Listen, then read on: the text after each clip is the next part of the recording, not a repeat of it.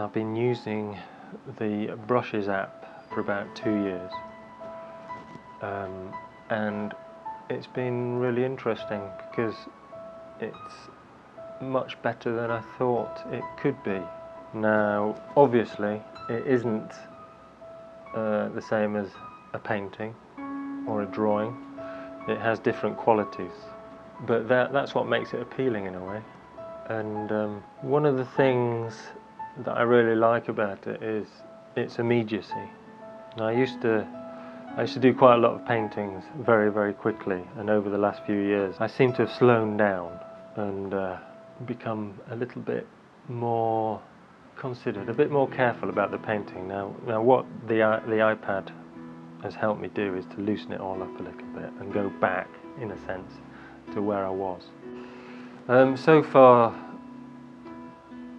90% of what I've done on the iPad is of figures. Um, I've got several life drawing classes in Brighton and uh, so I tend to draw there.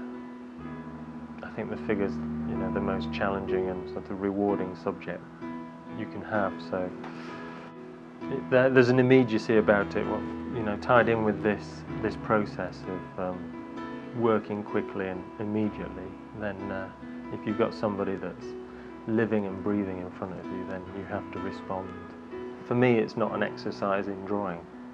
It's kind of, it's moved beyond that. It's it's it's it's trying to find something else, something about that person or my response to that person. I might not know them very well, but something that I've noticed about them. I'm try, trying to express that.